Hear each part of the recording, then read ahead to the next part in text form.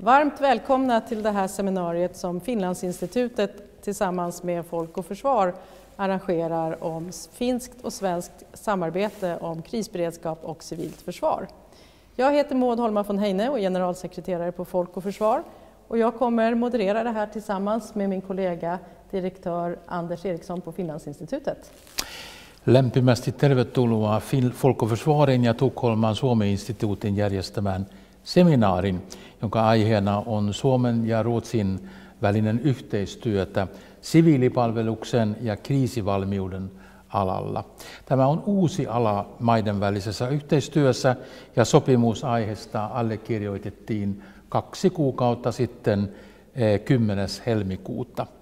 Maud Holma eh, von Heine on Folk och Försvarin pääsihteeri. Folk och Försvarin tehtävä on ylläpitää ja eh, edistää turvallisuuspoliittinen keskustelu Ruotsissa. Oma nimeni on Anders Eriksson, olen Tukholman Suomi-instituutin johtajana ja me tullaan Maudin kanssa toimimaan tämän seminaarin moderaattoreina. Tervetuloa minunkin puolestaan. Ja, Finland och Sverige har långtgående samarbeten inom en rad olika områden. Vi har gemensamma geografiska förutsättningar och säkerhetspolitiska omvärld. Vi är båda medlemmar i EU, men inte i Nato. Dessa likheter och gemensamma utmaningar utgör grunden för flera olika samarbeten. Inte minst inom det militära försvaret så har vi ett långtgående samarbete som nyligen fördjupades till att utökas med möjligheter för samarbete bortom fredstid. Men vi har samtidigt olika historiska erfarenheter och också olika förvaltningsmodeller som gör att vi planerar för och hanterar kriser på olika sätt. Och den senaste utvecklingen på det här området är den avsiktsförklaring som de båda inrikesministrarna, Sveriges Mikael Damberg och Finlands Maria Ohisalo undertecknade i februari i år. Avsiktsförklaringen klargör ländernas intentioner att fördjupa det bilaterala samarbetet på områdena krisberedskap, civilt försvar och räddningstjänst. Målet är att förbättra ländernas förmåga till resiliens och främja gemensamma intressen inom krigsberedskapsområdet. Med utgångspunkt i det här dokumentet som skrevs under i februari av de båda ministrarna ska vi idag diskutera framtiden för det här samarbetet mellan Finland och Sverige. Vi har med oss Sveriges inrikesminister Mikael Damberg och statssekreterare Olli-Pekka Parviainen hos Finlands inrikesminister Maria Ohisalo. Ohisalo själv sitter i ett möte med den finska regeringen för tillfället för att hantera den nu pågående pandemikrisen. Det är skälet till att hon inte är med här idag. Därefter kommer vi att få ett myndighetsperspektiv från Kimmo Kohvakka som är räddningsdirektör vid finska inrikesministeriet och tillförordnad generaldirektör Camilla Asp från Myndigheten för samhällsskydd och beredskap. Avslutningsvis kommer vi också att få höra från två experter på området. Från Sverige har vi Fredrik Bynander som är chef för Centrum för totalförsvar och samhällets säkerhet vid Svenska försvarshögskolan. Och från Finland Mika Hytiäinen som är militärprofessor och docent vid den finska försvarshögskolan. Seminariet kommer att genomföras på både engelska och svenska. De finska talarna förstår alla svenska men kommer att prata engelska under sina programpunkter medan de svenska talarna kommer till största delen att prata svenska. Eh, under rådande pandemi så har vi ingen publik på plats och talarna finns med oss på länk. Seminariet sänds live på Youtube men kommer också att finnas tillgängligt i efterhand på respektive organisations hemsida. Därmed hälsar vi alla er varmt välkomna och det är dags att börja. And we will start this seminar with the Minister of Home Affairs in Sweden and State Secretary for, Ministry, for the Ministry of Interior Affairs in Finland, to each give a short speech on the recently uh, adopted cooperation agreement. It will be followed by a common discussion. First of all, we will give the floor to Olli-Pekka Parviainen, State Secretary for the Ministry of Interior Affairs in Finland. The floor is yours, Pekka. Olli-Pekka. Thank you. Så, uh, bäst med Olli-Pekka Parviainen och jag är statssekreterare på det finska inrikesministeriet Maria Ohisalo. Tyvärr är hon förhindrad att delta i dagens webbinarium på grund av regeringsförhandling. Hon skickade sina varmaste hälsningar och konstaterar att samarbetet på detta område är väldigt viktigt och Finland stöder på det alla sätt. Eh, jag ska försöka mitt bästa att istället för ministern att föra från några tänkare och idéer i frågan. Eftersom vi tyvärr måste mötas via Teams eh, tror jag att det är bäst att jag fortsätter på engelska. Eh, jag vill ändå poängtera att Finland som är ett tvåspråkigt land gärna vill mötas så långt som möjligt på svenska. Uh, men jag redan nu för av mitt bruk av engelska i detta sammanhang. so as we do know, the Ministers of Interior Maria Ohisalo and Mikael Damberg signed a letter of intent in February on the enhanced cooperation between our countries in crisis preparedness, civil defense, and rescue services. Cooperation between Finland and Sweden in this field is a very timely topic, not only due to the pandemic situation. The letter of intent gives a political signal that the topic is important. It is also important to emphasize that the deepened cooperation between our countries also includes other areas. At the moment, we are preparing a bilateral police cooperation agreement between our countries. This is also many thanks to you, uh, Minister Damberg, for this. Uh, the cooperation between our countries in crisis preparedness, civil defense, and rescue services is already functioning and close on many levels. One good example is the daily bilateral rescue and cooperation across the border in Tornedalen. Uh, there is always a need for strengthening already good cooperation in crisis preparedness, civil defense, and rescue services. The COVID pandemic has shown the need to increase our efforts to cooperate and prepare together, also for future crises. The goal of the enhanced cooperation between our countries is to further strengthen the country's ability to prevent and deal with major disaster and unexpected crises. As we have seen over the past year, crises can surprise with their scale and length. We do not know, of course, how the crisis will look like in the future, but we do know that, for example, climate change will pose a major challenge. It is important that we have an ability to react and to tackle various crises, including the consequences of, for example, hybrid and cyber attacks. We can also coordinate our efforts in civil preparedness planning, work together more efficiently in EU and international fora, and strengthen our ability to provide and receive assistance from each other. This is one of the concrete questions we will look into more depth, also in Nordic context. It is important to emphasize that even if we now work on strengthening the bilateral cooperation between our countries, the work in the Nordic context in this field is very important and valuable. Finland has the chairmanship in many Nordic forums this year, for example, in the so-called Haga cooperation, which our ministry is in charge for. We are also strengthening civil military cooperation on a Nordic level together with colleagues from the Ministry of Defense.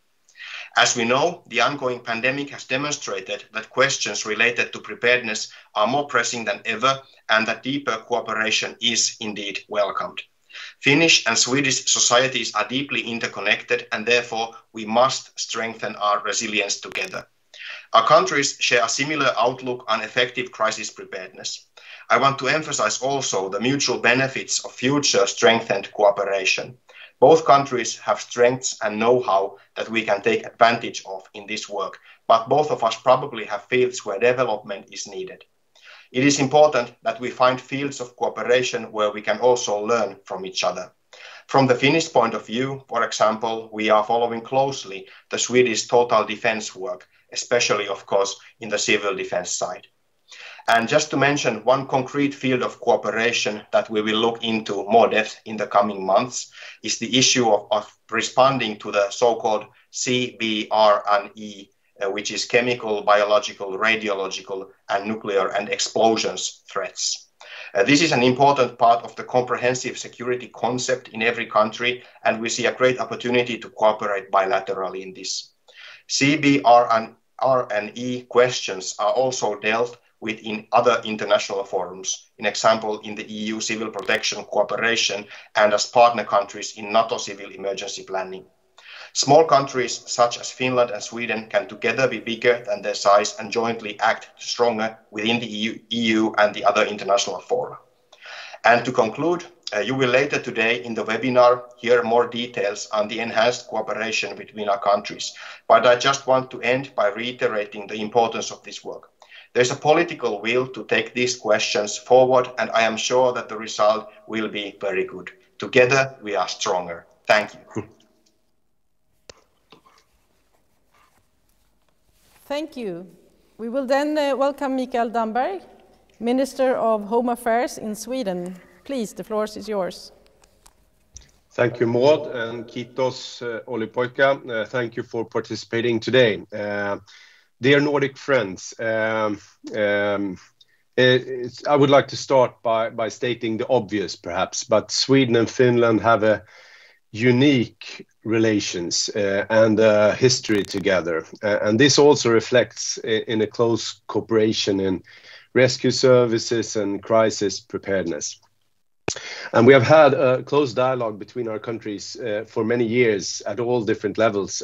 But the idea of a letter of intent to deepen the cooperation between our countries regarding emergency management, civil protection, and civil defense was discussed by Minister Maria Ohisalo and myself in the autumn, and already in February this year we signed it. Truly uh, an evidence of our joint commitment to this course. Uh, but allow me to begin by outlining the work that Sweden is currently uh, undertaking. Sweden is now making a journey in the light of a worsened security situation in Europe. We're strengthening uh, the military defense substantially. Uh, as you probably know, large parts of Sweden's civil defense were disbanded, disbanded after the Cold War. Uh, this contrasts with our Finnish neighbors who have never dismantled their civil protection. I'm therefore proud that Sweden is now making the largest investment in civil defense in modern time. Uh, this year, 2021, the civil protection in Sweden will be strengthened by approximately 1 billion Swedish crowns. Uh, and in the coming years, the investment will increase gradually. Together with the funds we provided already in 2018, the government proposal means that civil protection will be strengthened by a total of 4.2 billion uh, in 2025. But it's not all about money. Uh, an investigation that is now on the table aims to create clear responsibilities and management, con uh, management conditions and a stronger coordination within civil protection and crisis preparedness in Sweden. The investigation include a new structure for authorities uh, and a new division of the country into larger geographical areas for civilian management and coordination. A further central part of the historical investment to build up Swedish defense preparedness and ensure that Sweden has a civil protection in place that physically protects the civilian population. These investments enable in-depth cooperation within, with Finland on issues such as total defense and crisis preparedness, areas that during the pandemic have really exposed our common challenges and the importance of good cooperation. Let me continue by broadening perspectives. The international and external threats face our society today are complex they're occurring and evolving fast. The climate crisis is a global major challenge, and the security situation in our part of the world is also, uh, unfortunately, uh, deteriorating. The pandemic is, like I said, of course, another example. The digital transformation uh, comes with major opportunities for both Finland and Sweden, but also risks, and cybersecurity is therefore essential for both our countries. These complex questions are reasons why we want to formalize our cooperation with this letter of intent. The letter of intent is a framework for future work. It sets goals and ambitions when it comes to deepening Finnish Swedish bilateral cooperation in the area. The goal is to improve our country's ability, individually and together, to be resilient and to promote common interest in crisis preparedness, civil protection, and civil defense. Above all, the letter of intent gives a signal to our crisis management systems that it's time to step up, step up our common efforts. But having said this, it's also important to once again emphasize that our bilateral cooperation in civil protection is already very well developed and perhaps almost so smooth that it does not attract uh, much attention today. In other words, we start off from a very high level. The relations between our countries are long lasting and robust. The defense cooperation between Sweden and Finland has been developed uh, for several years now. With this letter of intent, we will now have the possibility to advance the cooperation also on the civilian side. As we can see, there are many reasons why we should continue the path we're taking. As I said, I'm convinced that now, after the pandemic, we can and should work together to create a strong crisis preparedness. Who knows what the crisis will look like next time? When it comes to give and receive support, it can, for example, be about resources to support in events of major forest fires or major chemical accidents we still remember when we received support from Finland during the forest fires in 2018, one of several examples. I further believe I further believe that we can deepen the cooperation in matters of chemical, biological, radiological, nuclear, and explosive substances. Um, uh, regarding CBRNE, uh, it is both about crisis management after an unwanted event has occurred, but also about preventive work. I'm determined that we must work together to control, monitor, and stop the misuse of CBRNE substances. Uh, and when it comes to security of supply, Finland has experiences of warehousing in a way that Sweden has not had in recent years. Even here, we're, we are very keen to learn from the Finnish experiences.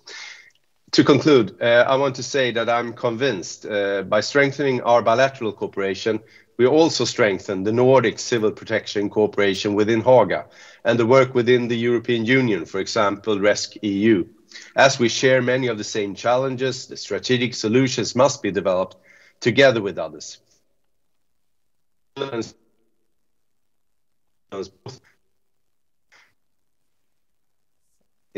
and we, show political leadership and direction.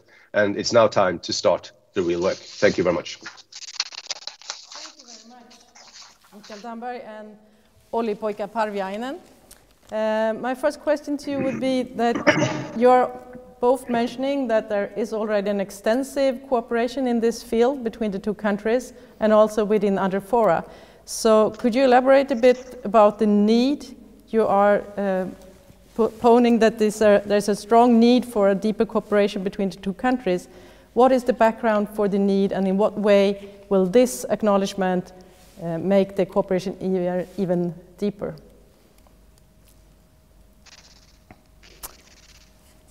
Would uh, Mikael Damberg, when you start, since I happen to see you in the camera first, so please. Yes, I think I mentioned it uh, to start with, but but I think to close the closer cooperation for Sweden is both when it comes to crisis preparedness because we think we have a good system today, but we see also new areas uh, on, the, on the chemical side, for instance, the CBRNE side. We think that we need to do more in Sweden. Finland needs to do more, but together we could develop uh, joint answers to this. Uh, I think that would be more effective, uh, and it could also contribute in the in a European framework uh, if Finland and Sweden work together on the strategic issues on this field. I think uh, all, all countries are a bit too small to have all competence in this area, but together we can share competence and be stronger together.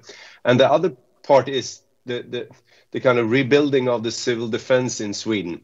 Uh, Finland did not dismantle the civil defense uh, after the Cold War. So I know that Finland did pretty much copy paste the Swedish earlier system, but now you have evolved your system. Uh, and that's very interesting because now when we want to rebuild the system, we see that the, the world has changed. We're more international dependent. We see more private companies involved in, in different areas of, of the civil defense.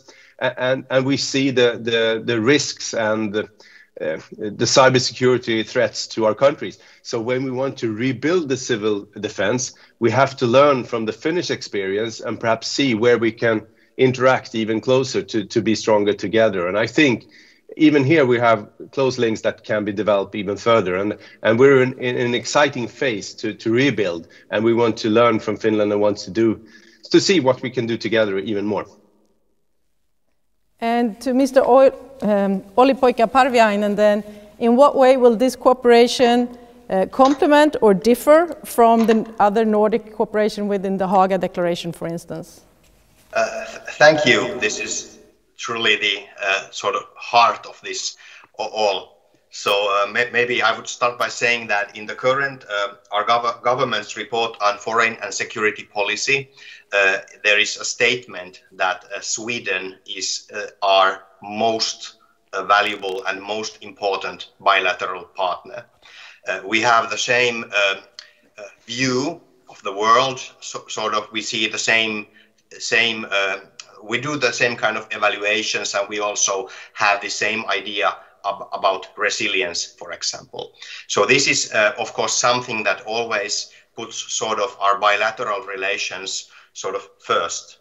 But this, this does not mean that the relation in the other Nordic forums is sort of less valuable or something that I, I would more like, likely to say that uh, our special relationship with, with, Sweden also strengthens the whole Nordic uh, alliance, if I dare to say. Uh, and uh, what we can do also, uh, it is true that, for example, we have kept our civil preparedness in a relatively high level.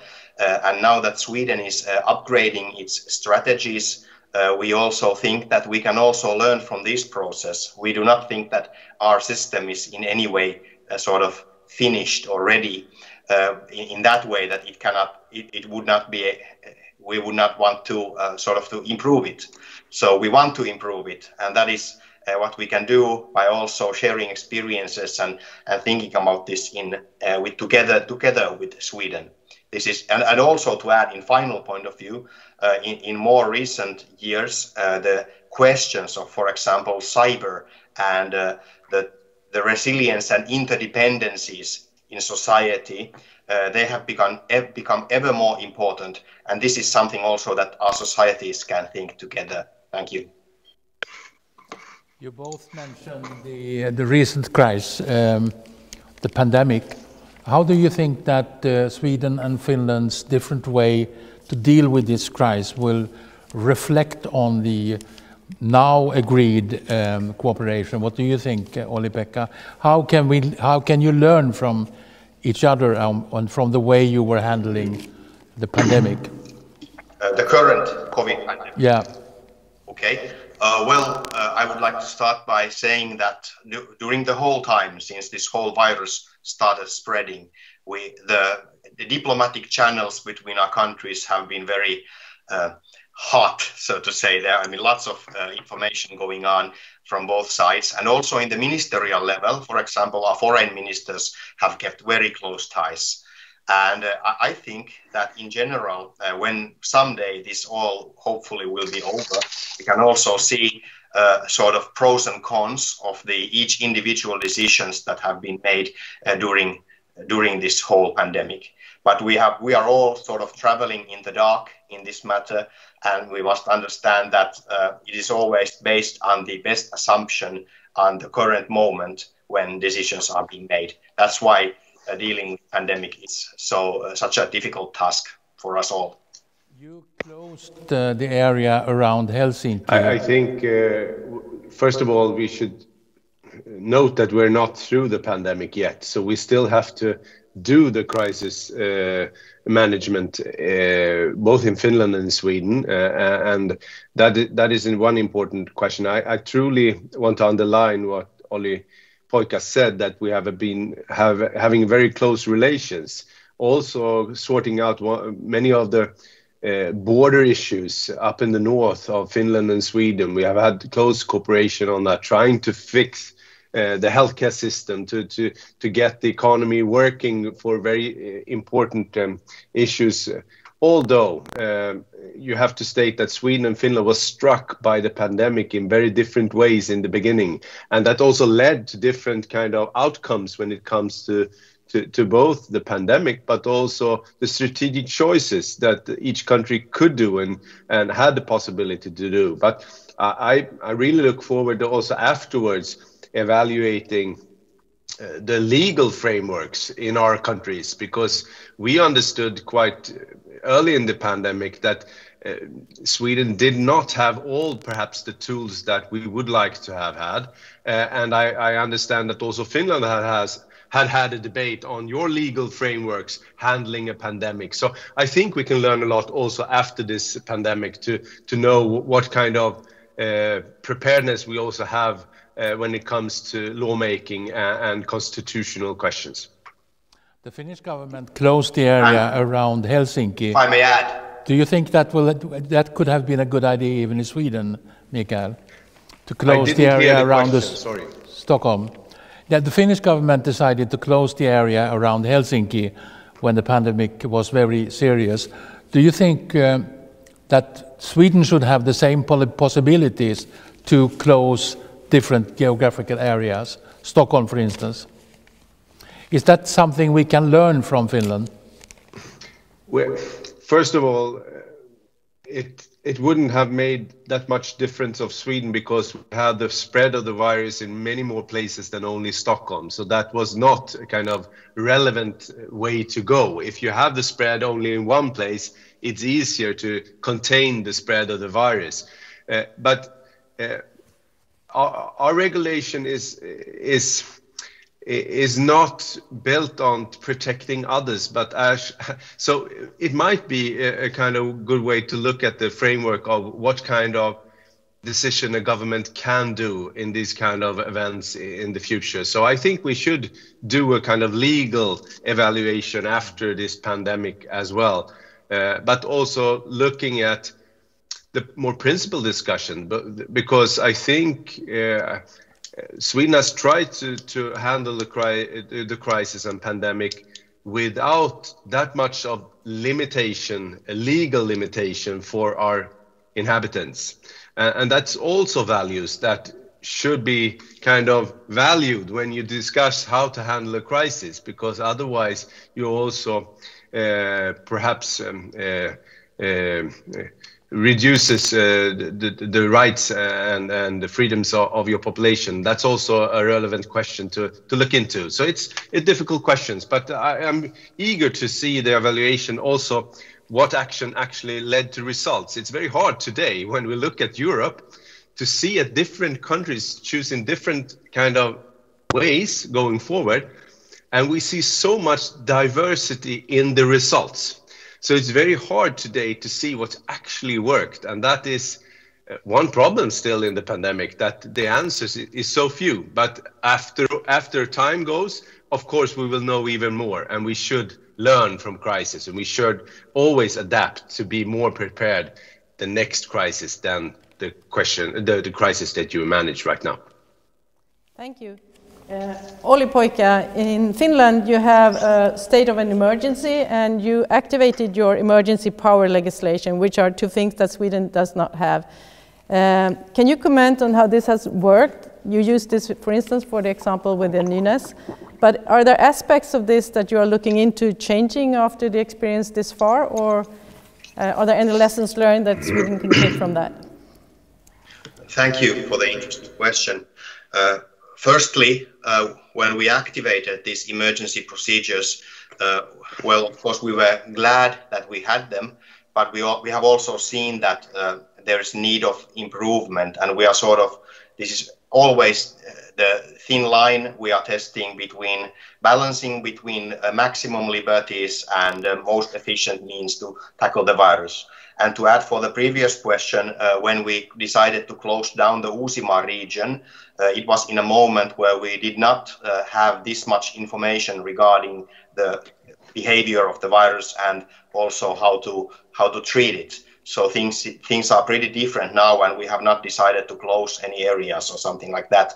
But the emergency powers have they have given us the possibility uh, to do, for example, to close restaurants, which seems to have uh, proven uh, in useful in this area. It is of course sad for the entrepreneurs, but when we did, did, this thing, the spread of the virus started to decline quite rapidly. And uh, also the government, as you may know, tested sort of, it became sort of a test without we wanted it to be a test. So uh, the government uh, put to the parliament this legislation regarding the limiting of the movement of people, and it faced a constitutional barrier. So, uh, so it also taught us that um, we must be uh, very cautious when doing these things. Maybe we proceeded quite rapidly, but of course there has also been sort of luck in our side because after all this, the rates have started declining without these heavy measures. But uh, the preparedness laws in general, uh, they have to be improved, and also are um, the laws that protect uh, the health of the citizens. There is all uh, we have. We are currently evaluating. We have already upgraded those laws, but we are evaluating that maybe we should uh, update them a little more so that we would not have to use the Emergency Powers Act when we want to uh, sort of do some precision act uh, against a pandemic. Uh, it's a difficult one, I have to say. It has often been said in the discussion recently that Finland and Sweden have very different historical experiences. Many people in Finland are still remembering the wars against the Soviet Union, and Sweden hasn't been in war for 200 years. Uh, how do you think that these different historical experiences will affect. Sorry, I cannot hear. Uh, can you hear me, Mikael? Uh, I, I, I'm asking if the different historical experiences between Sweden and Finland is going to affect the cooperation uh, on civil defense. Uh, are, can you hear me, Olli-Pekka, or yeah? Can you start with that, and then we will, and then we will ask Mikael the same question. So you, you asked about the historical, uh, our, our historical experiences. Have they affected how we deal with the pandemic? How it is going to affect the cooperation that you are we are not talking about, if you are uh, looking future and in the future.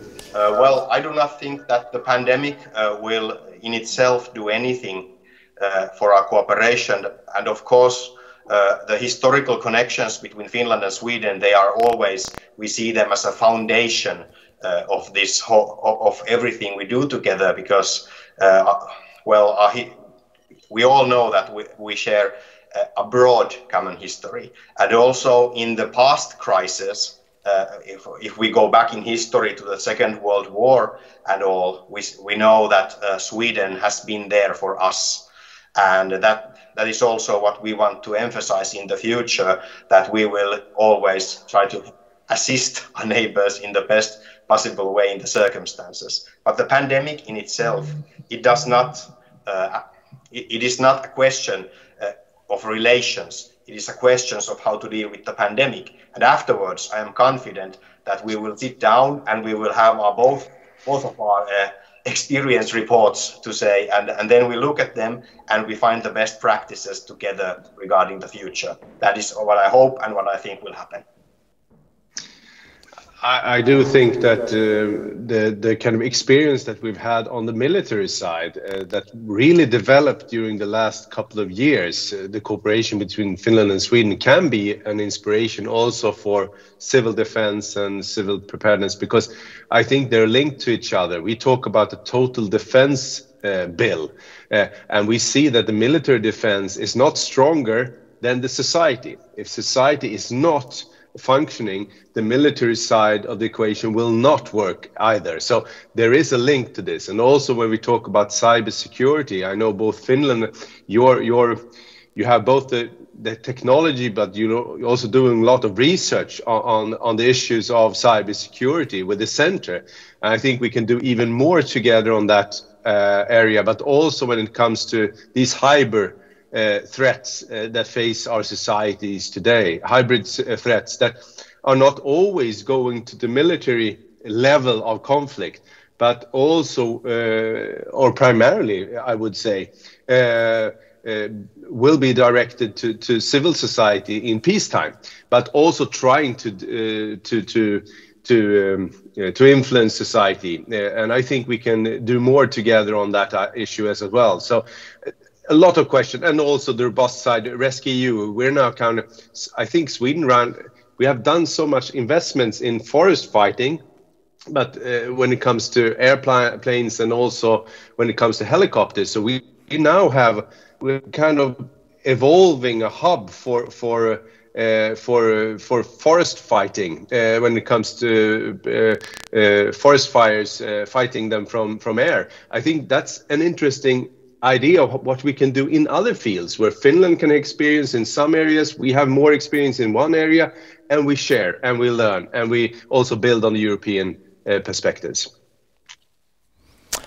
Okay, thank you very much indeed. Um, Olli-Pekka Parviainen, uh, State Secretary at the Ministry of uh, Interior Affairs in Finland, and Mikael Damberg, Minister of Interior Affairs here in Sweden. Tack så mycket Mikael Damberg och uh, statssekreterare Olli-Poika Parviainen. Kiitoksia oikein paljon sinne Helsinkiin. Vi ska fortsätta att diskutera. Hej och tack så mycket. Ha en bra fortsättning på dagen. Hyvää päivän jatkoa teille. Vi ska ta, eh, fortsätta och diskutera den här frågan ur ett myndighetsperspektiv. Och vi har därför bjudit in tillförordnade generaldirektören Camilla Asp från Svenska myndigheten för samhällsskydd och beredskap och Kimmo Kohvakka som är räddningsöverdirektör vid inrikesministeriet i Helsingfors. Välkomna! Tervetuloa! Ja, och inledningsvis kommer vi ställa samma fråga till er båda två att få svara på.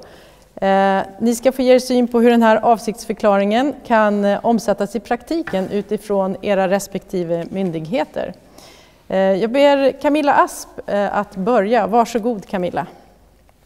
Tack så mycket för det och eh, då vill jag passa på också att tacka Folk och Försvar och Finlandsinstitutet för att ordna det här viktiga seminariet och det känns jättebra och roligt att förstå så här digitalt tillsammans med min kollega Kimmo och visa på det goda bilaterala eh, samarbetet som vi har. Så jag hoppas du Kimmo håller med om det när du ska tala.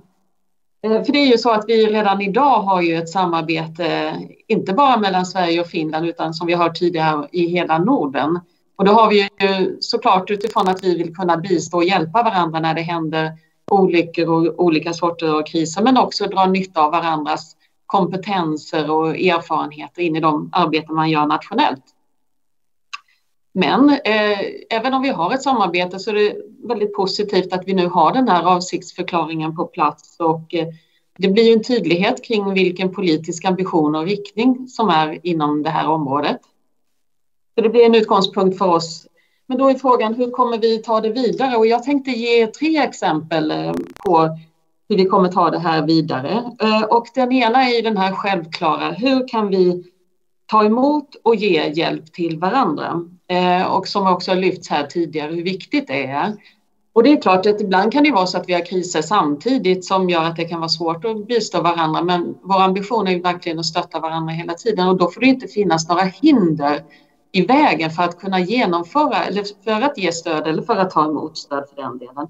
Och vi har nu precis satt igång ett arbete för att se över de praktiska förutsättningarna att kunna ta emot och ge stöd i kriser. Och det kan handla om sådana saker som att gå igenom och samordna förberedelser vid gränsövergångar, att säkerställa att samband och kommunikationer fungerar och att vi har koll på rättsliga avtal som kan användas i olika sammanhang. Och vi behöver också säkerställa att nya förstärkningsresurser som utvecklas är interoperabla. Om vi till exempel skickar våra skopande flygplan till Finland eh, vid en skogsbrand så är det viktigt att vi redan har övat och testat så att det praktiska runt omkring fungerar också sömlöst mellan länderna. Så låt inte det praktiska stå i vägen för ambitionerna. Eh, det andra området det är det som också har lyfts här tidigare, CBRNE. Eh, och det här är ett område som också beskrevs här tidigare som har blivit allt mer viktigt att jobba med tillsammans. Och eh, jag tror att Kimmo kommer fördjupa sig lite mer i just de här frågorna. Men här jobbar vi tillsammans med Finland för att stärka vår förmåga och mycket det vi gör inom det här området hänger samman med den ambitionsökning som vi har i EU-arbetet på civilskyddsområdet där vi håller på att bygga upp ett system med gemensamma EU-finansierade förstärkningsresurser som kallas Rescue. Och det nämndes ju här tidigare också. Ett viktigt område att bidra till är bland annat saneringsområdet. Eh, om det tredje exemplet jag tänkte ge, eh, det handlar om eh, cyberområdet. Och här har vi ett gott samarbete på nordisk basis med det gemensamma CERT-samarbetet. Och CERT står för Cyber Emergency Response Team. Och det här är faktiskt ett rätt avancerat samarbete och vad jag vet så finns det inga motsvarande samarbeten i andra regioner i Europa. Men det vi gör då är att vi regelbundet utbyter information information om IT-incidenter och hjälpas åt när det inträffar en IT-incident. Eh, och vi har också ett utvecklingsråd inom CERT-samarbete som handlar om att ta fram kommunikationsnät för utbyte av säkerhetsskyddsklassad information. Och sen för ett annat konkret men jätteviktigt område, det är också att vi övar tillsammans. Sverige har en övning som heter NISO som vi kommer genomföra och där Finland också deltar. Så viktiga samarbeten på gång och eh, eh, jättebra med den här överenskommelsen så vi får ännu mer kraft i det här viktiga samarbetet. Och jag tänkte stanna där som en första inledning. Thank you Camilla.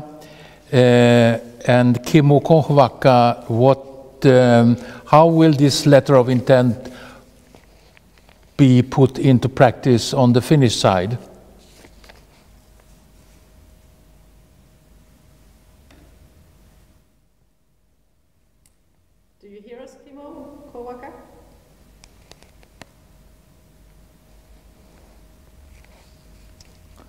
Can you hear us, Kimmo?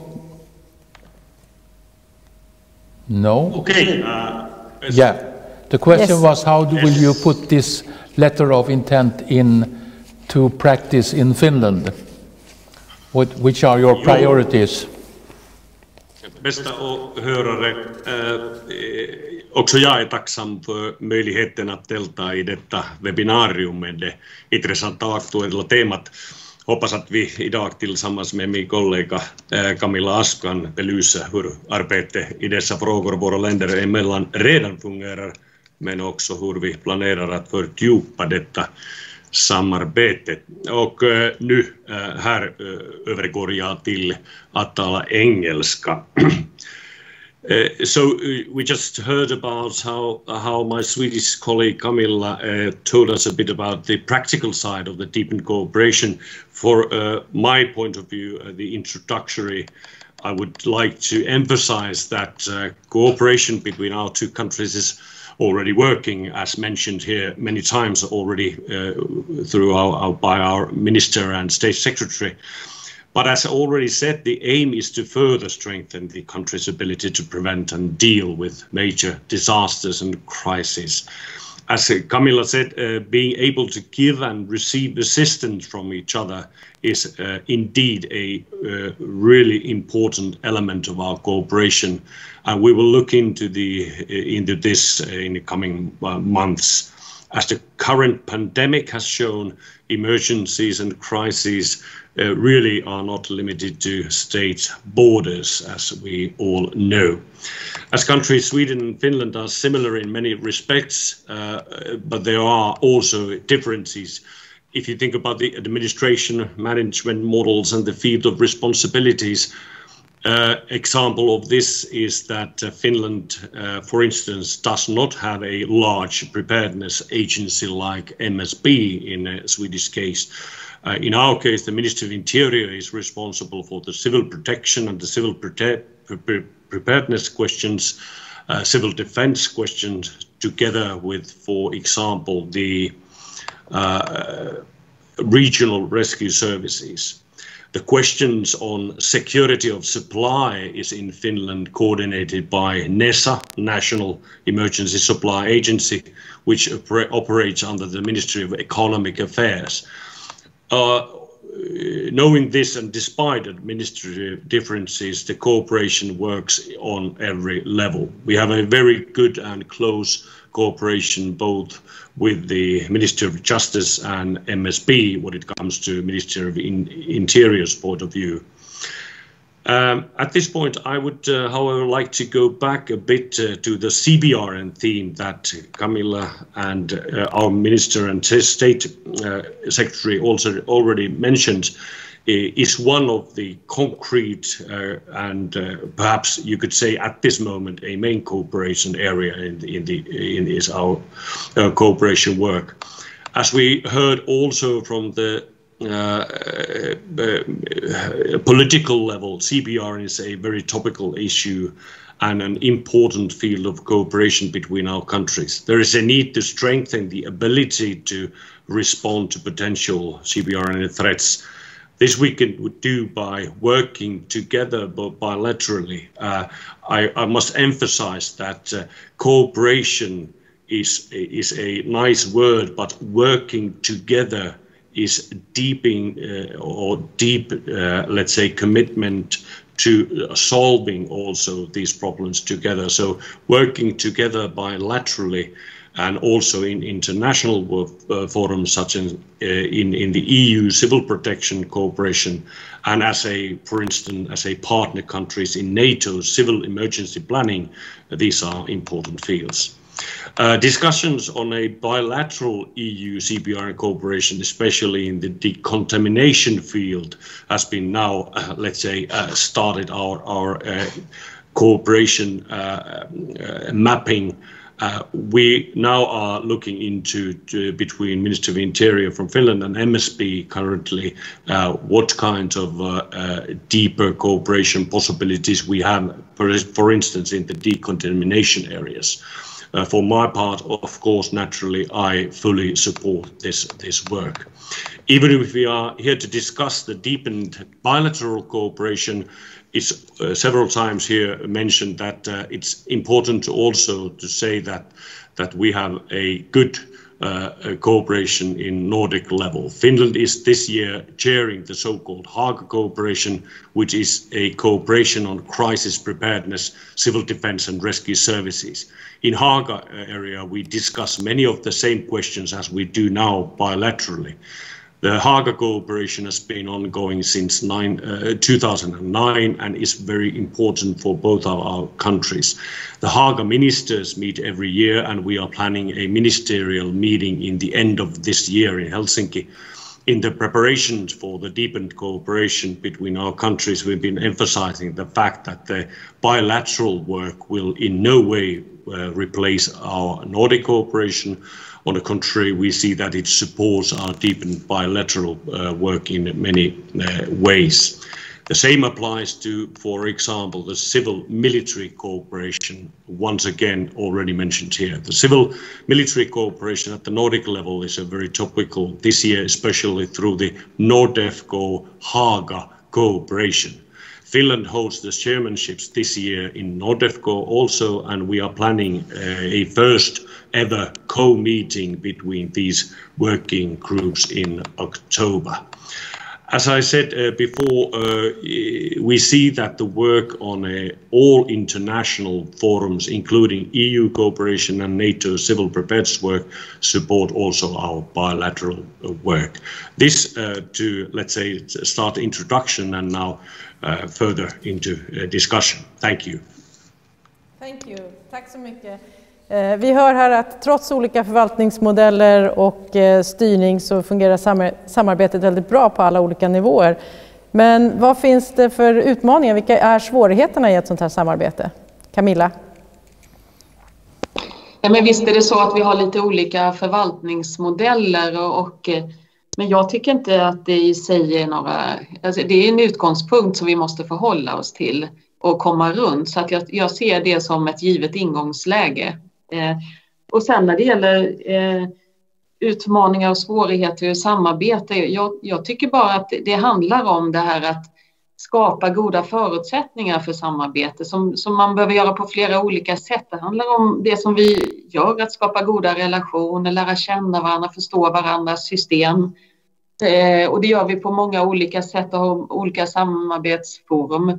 Men det handlar ju också om att, eh, att, att vi i praktiken gör saker tillsammans, att vi övar tillsammans. Och där har vi övningar som vi har genomfört. Vi har också övningar på gång som handlar just till exempel om att ta emot och ge stöd, hur det ska gå till praktiskt. Så att det är väl på det sättet man övervinner de hinder som finns. Tack. Kimmo Koaka, uh, what do you see are the um, limitations or the difficulties in such a cooperation? Uh, thank you for the questions. I, I, I, perhaps I'm a little bit strong over here. There are no difficulties. Uh, in, in fact, it's, I, think the, basically it comes to uh, organizing and resources in the area. But as we have seen, we have a strong uh, we are seeing uh, together these goals and the, the let's say the, the reasons why we are now uh, let's say deepening our cooperation. Uh, and I, I could say that uh, if you think about the uh, practical side of how to let's say uh, develop exercise work I, I think that um,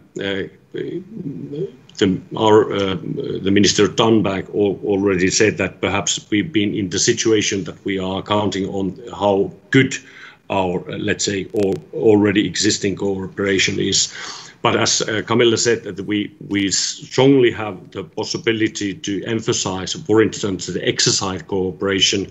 We are now uh, having this uh, spring. We are having a cooperation exercise in in forest fighting in, here in Finland side and and how to use the new de developed aerial fi firefighting capabilities that Sweden has been developing. That's one area. But if you think about, the, for instance, that you have an experience on civil-military cooperation uh, in civil preparedness exercise uh, area, that is perhaps one area also that we could do more at this uh, very moment. But uh, sincerely, I think that there are no obstacles when it comes to, let's say, deepening cooperation, perhaps in practical ways, how to just plan and how to how to resource those cooperation possibilities. Thank you. In, in the north, there are very closed cooperation between, for instance, with Haparanda and Tornio. They have the same fire brigade and are working very close together. What can you learn from those experiences on a very practical and local level when you are now starting to develop the cooperation on the national level? Kimmo? Tyvärr, jag har lite svårt att höra den frågan. Jag hörde inte riktigt vad som sades. Eh, jag frågade om det här lokala samarbetet som vi har sett så mycket av i norr mellan Haparanda och Torneå, där man hjälper varandra att släcka bränderna på ömse sidor om gränsen och där räddningstjänsten jobbar väldigt eh, tajt tillsammans. Vad kan man lära sig av det här täta samarbetet, lokala och väldigt praktiska samarbetet? Vill, vill Kimmo eller vill Kimmo börja? Do you want to, how do you want to okay, answer that you. question?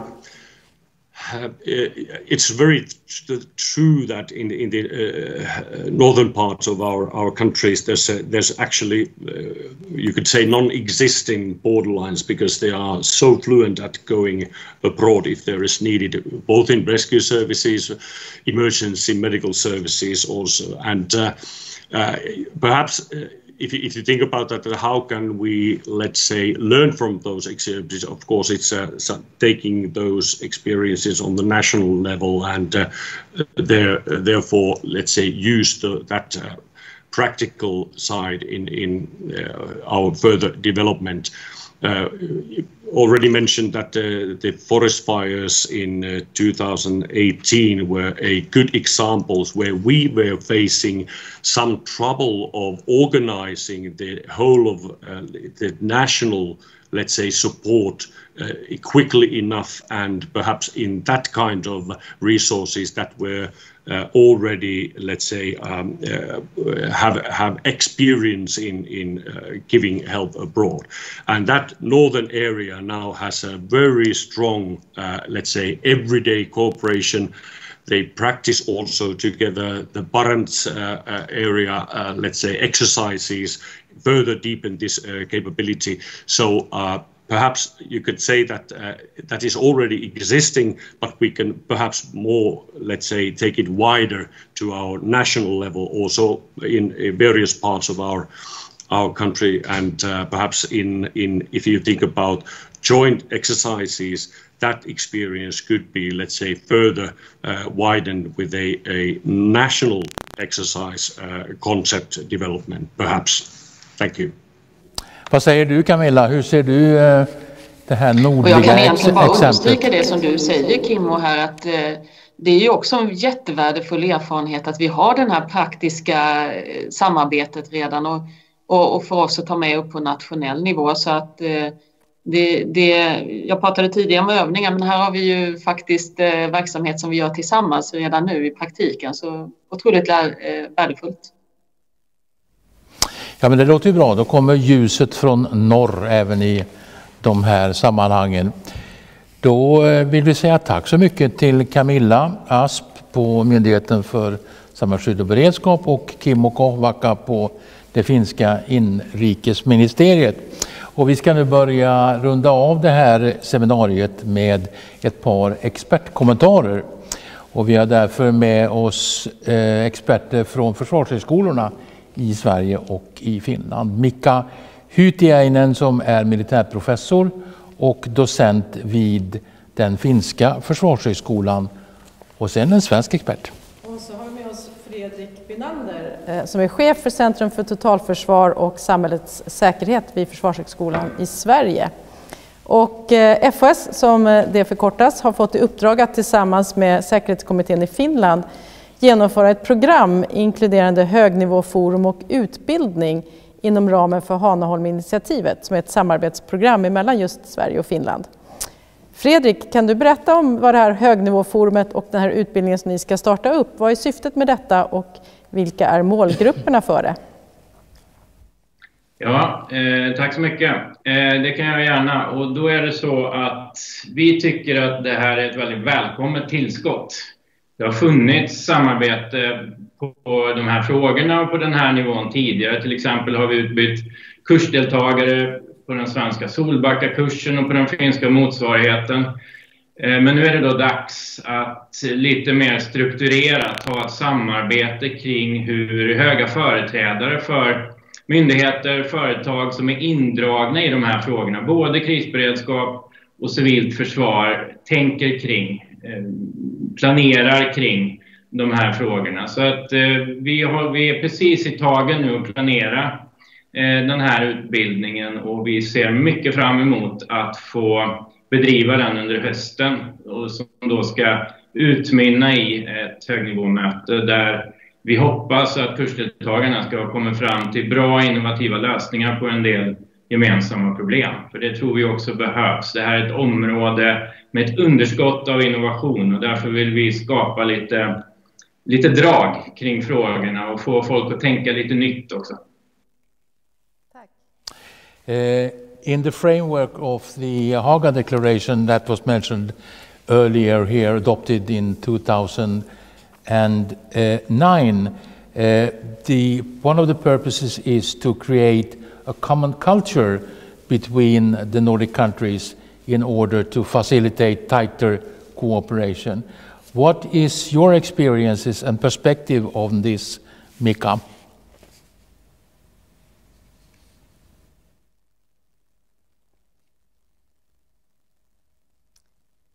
Do you hear us, Mika? Yes, I hear you. But but the last words were just I didn't hear them. So the, yeah, your your experiences and perspectives on the Titan tightened corporations inside the Haga Declaration? Still, I have problems to hear. Regarding the training and education within the Haga Declarations, what are your experience from the Finnish Defence uh, um, Society? Thank you. Now I heard it loud and clear. Well, actually, I have a lot of experience in that because uh, when I was a director in the in the organization that is uh, is is about the same as FOA used to be in Sweden, not FOA, which is wider, but but uh, as a research organization, we already had a lot of uh, discussion, for example, with CBRNE, and uh, and uh, it was before the Nordefco, so it was about more than ten years ago. I have also participated in Barents Rescue, which is actually uh, even wider than the, than the Nordic cooperation in the north, because the Russians are also also there, but but they are more like um, everyday's everyday's things, and uh, I see that uh, that there's no problem at, at, at, any kind to have that kind of things together. It's more like uh, resources, but it's all, also like those guys who are making decisions, and I'm not meaning also the politicians, they have to kind of put them in the priority list enough high enough, so so that we can actually do those things. But but my experiences are very very good in that respect. Thanks. Which are your main expectations now concerning the tightening cooperation in uh, civil defense? Uh, I would say that that, that the, the beginning of uh, of the, that that work with the security committee, which actually is, is the courses are are done by the Finnish uh, National Defense University. Uh, that's that's a good good starting point. But I would like to see more cooperation also in the kind of tactical level. We have a lot of things that ongoing on the on the strategic level also in the material level, there are possibilities, and then in the in the training. But to to make kind of uh, concepts together uh, the, uh, is one of the things that I would I, I would like to see. And for example, the the concept of the of the civil defense, as the as, as your minister pointed out, that that you are you kind of forgot that, and we still have it well, I have to say, well, I hope that Kimmo is listening here because I, am I'm, I'm trying to say something that he doesn't maybe like. Is that that well, we have the concept, but it, it needs a lot of dusting, and it's not 2.0. It's not something that we have to have today. It's something that we used to have, and we have improved it a bit. But but to to work together with that new idea of what the civil defense is in the in the future, I would say that that's that's my highest expectation actually. Thanks. Tack. Fredrik, vad ser du att eh, länderna kan vinna på det här samarbetet vad gäller civilt försvar och krisberedskap? Ja, jag skulle vilja börja med, jag, jag tror flera har varit inne på det, att logiken på de här två områdena skiljer sig ganska mycket åt. Och särskilt den svenska krisberedskapen är ju byggd nerifrån upp så att säga. Eh, kriser händer i kommunerna, sa redan Räddningsverket på sin tid. Och vi har haft en närhetsprincip som gör att vi vill bygga resurser nära saker och ting händer. Medan civilt alltså, försvar av nödvändighet är byggt tvärtom, uppifrån och ned. Det är ett externt hot vi bygger för att skydda oss emot och därför måste eh, statsmakten i första hand äga det här systemet. Och det ger oss både en del problem men också stora möjligheter till samarbete skulle jag vilja säga på området civilt försvar. Där några av de största frågorna som vi bara har börjat fundera på det är hur upphandlar vi säkra tjänster för vår kritiska infrastruktur, för hur vi ska leda landet i svåra situationer och, och krig. Den typen av frågor tror jag vi kan göra mycket tillsammans på, därför att det finska och det svenska näringslivet är ganska tätt sammanknutet redan nu. Och om vi lägger det här rastret på hur vi upphandlar saker och vilka företag och vilka ägarkonstellationer som betraktas som mer eller mindre säkra. Det finns en massa sådana saker vi kan göra. Och här vill jag också bara tillägga att här kan vi också lära oss en hel del av Finland som, som har tittat på upphandlingslagstiftning i ett EU-perspektiv betydligt eh, ska vi säga, tuffare än vad Sverige traditionellt har gjort och använt sig av säkerhetsundantag och så vidare. Så jag, jag tror att liksom utanför det, det absolut närmaste, att några myndigheter håller på att planera för Eh, de civila försvarens behov så finns det i nästa steg, det som Sverige bara har börjat ta tag i, ganska mycket att, samarbeta kring. Så, så, det tror jag är, är jätteintressant och någonting som bör försiggå på flera nivåer eh, redan från och med nu. Vad är det du Fredrik som du tycker att Sverige ska lära sig av Finland? Du nämnde upphandling till exempel, men, och sen nämnde du att i Sverige så är organisationen här byggd nedifrån och upp. Eh, borde den byggas åt andra hållet som man delvis kanske då har gjort i Finland? Alltså, I Sverige så har vi det krisberedskapssystem vi har och vi har go ganska goda erfarenheter av det ända tills vi kommer till de stora nationella kriserna som till exempel Eh, covid-19. Där har det sina begränsningar. Där blir det så att det krävs en nationell samordning och en nivå som vårt system inte i förstone är byggt för. Och då kommer vi till det här med nationella eh, förstärkningsresurser som Camilla var inne på. Och där ingår också ledningsresurser. Där ingår förmåga att leda nationella insatser på den här nivån. Och här tror jag vi har lärt oss mycket egentligen i båda länderna på ett krisberedskaps och, delar av de lärdomarna kan vi faktiskt ta också till det civila försvaret och hur vi planerar för det. Därför att vi måste bli bättre Regeringen måste bli bättre på att styra riket och använda sina myndigheter för att göra det. Det är en ganska eh, svår samhälls... Eh, eh, ska vi säga, struktur att försöka styra just nu. Där vi har liksom lejt ut ganska mycket till näringsliv och andra. Och då gäller det att ta de tyglar man har och faktiskt förstärka dem för att kunna ha eh, en planering för ett riktigt civilt försvar. Och där tror jag att Finland har inte gett upp lika många styrmedel som Sverige har gjort under de senaste 25-30 åren. Och det kanske vi ska se på om det finns eh, legala förvaltningsmässiga möjligheter att återta en del av de styrmöjligheter som, som vi i Sverige inte längre tillämpar.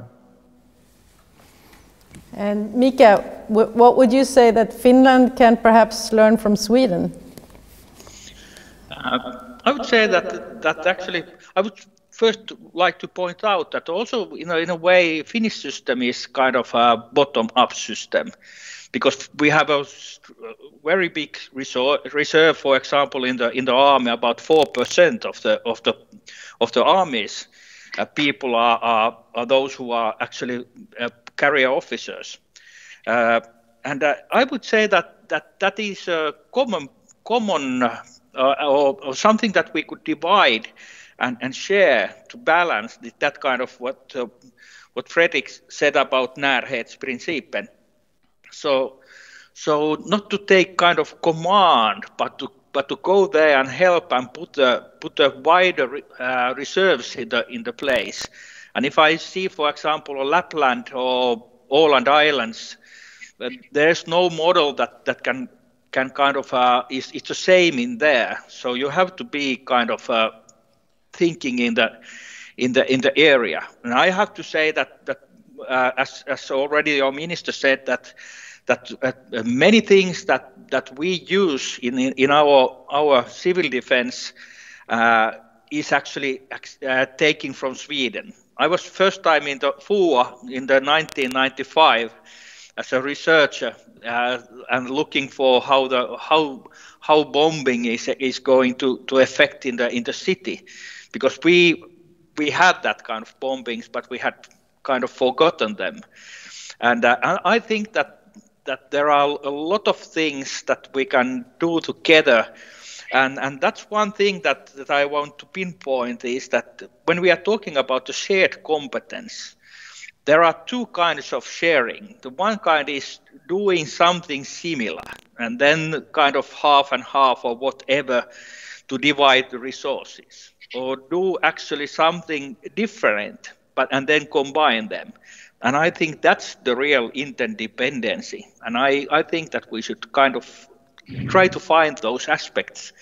And there's a, there's still a lot of for us Finns to, to learn from Sweden. So so no doubt about that.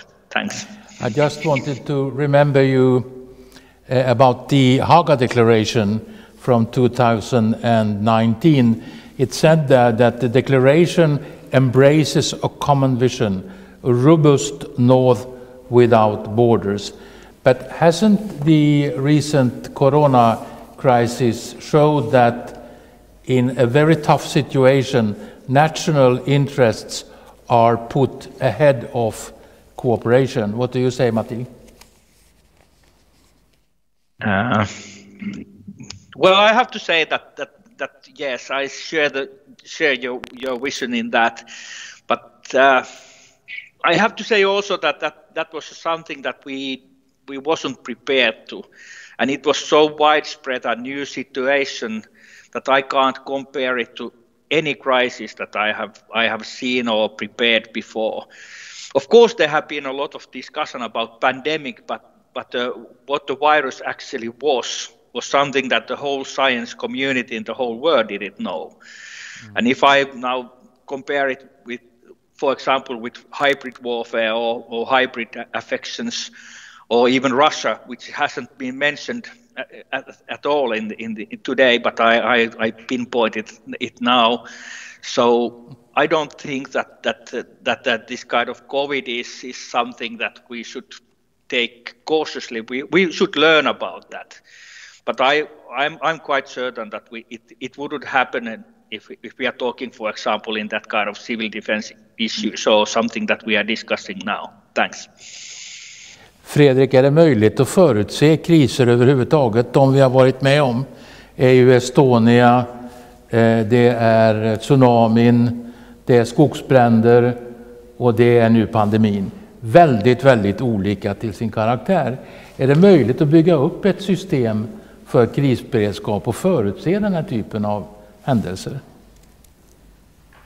Det enda jag vet om det, det är att vi måste försöka. Därför att de kriser vi har förberett oss för blir inte lika stora kriser. Och, eh, det slår mig till exempel hur utvecklade våra pandemiplaner i västvärlden var efter fågel och svininfluenserna och hur, hur lite vi har haft nytta av de pandemiplanerna nu. Vi, vi måste ha system för krisberedskap och för olika oväntade händelser som har en förmåga att lära sig och utvecklas. Och vi kommer inte kunna förutse allt. Det kommer att kunna trilla en meteor i huvudet på oss eh, när som helst. Men alla de problem vi har förutsett och byggt en del resurser för och särskilt gemensamma resurser som vi kan pola och, och använda enligt en, en distribuerad princip desto bättre rustade kommer vi att vara och desto färre av de här ska vi säga, systemskakande kriserna kommer vi gå igenom. De länder som var förberedda på en pandemi har gjort det betydligt bättre än de som inte var det. Och vi kan bara titta på de som har haft utbrott av coronavirus de senaste 20 åren. De hade en annan förberedelse, både i systemet och hur regering och myndigheter betedde sig. Men framför allt kanske hur medborgarna såg på problemet och hur de var beredda och anpassa sig till nya förutsättningar. Och det här tycker jag är grundläggande, att det handlar om att förebygga olika typer av risker. Vi kommer aldrig kunna ta hand om alla, men vi kan jobba med dem som vetenskap och beprövad erfarenhet säger att vi kommer att behöva ta, ta hand om. Tack. Mika, you mentioned uh, Russia, for instance, uh, quite recently here. What, will, what kind of signal to the other countries or other uh, partners for that reason as well will this cooperation bring with it? Uh, that's a good question. Of course, that this is something that we do all the time, so it's, it shouldn't be any any surprise to them. But I have seen, uh, or I actually tracked about what Lithuania did in 2015 when they actually sent also a small booklet of 100 pages almost to every home, and it was there were instructions what to do if your if your country is occupied.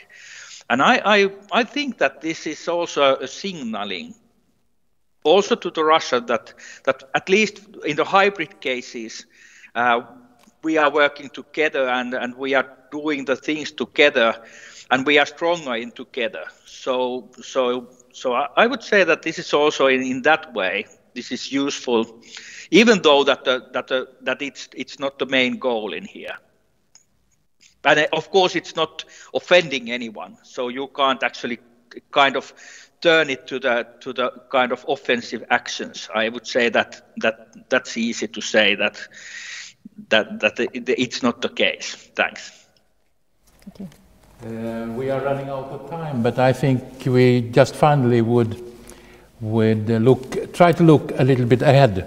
Do you think that this uh, cooperation will lead to that Sweden and Finland will be safer places? What is your expect, expectation on the cooperation in the longer run? Uh, if we start with you, Mika. Uh, I would say that I would say that of course, yes. But if you see our history, for example, 20 years back, we are a lot safer societies than, than we used to be, for example, in the 1990s. Uh, but of course, there's a big problem is, is coming, and it's climate change, and that kind of uh, can change the whole whole things that we are now discussing again. And it's it's not actually men- mentioned in the in the in the in the treaty also, so I didn't mention that, but but there's one big cloud, and that it's not Russia, and it's not Estonia, and it's not even maybe COVID, but but but the climate change is something that we should take into into the consideration also in this forum. Thanks. We will take care of that in another seminar I think. Vad, eh, vad säger du Fredrik? Vad tror du att det här eh, kommer att leda till på lite längre sikt? Kommer Finland och Sverige att bli säkrare ställen att leva på? Uh, ja och nej. Jag tror eh, ett samarbete kommer att innebära att vi får betydligt säkrare samhällen än om vi inte hade haft det här samarbetet. Men, men å andra sidan så går vi in i en betydligt mer turbulent tid över de närmaste 10-20 åren med ökade säkerhetspolitiska spänningar och också det som Mika tar upp som jag tror kommer prägla vår samhällsutveckling och det är hur vi hanterar eh, miljöhoten som vi står inför och hur vi ställer om våra samarbeten för att kunna fungera i den här nya situationen. Så att jag tror att eh, säkerhet kommer vara dyrare för oss att köpa och vi kommer behöva investera mycket mer i våra säkerhetsbehov. Och det tror jag vi gör bäst tillsammans, Sverige och Finland men också inom EU-kretsen. Tack så mycket. Det var allt som vi hinner med för idag. Tack Fredrik Benander och tack Mika Hytiainen från svenska respektive finska försvarshögskolorna. Eh, för den som vill se seminariet igen så finns det att titta på våra organisationers respektive hemsidor. Och eh, jag ber att få tacka alla våra medverkande och alla er som har följt seminariet idag. Tack så hemskt mycket. Puolestani kaikille puhujille kiinnostavasta puheenvuoroista. Tämä keskustelu jatkuu ihan, ihan varmasti. Seminaari on nauhoitettu ja on katsottavissa Folk och Försvar ja Finlandsinstituutin kotisivun kautta. Me avaamme muuten uuden kotisivun huomenna. Tervetuloa sinne katsomaan. Kiitoksia ja näkemiin.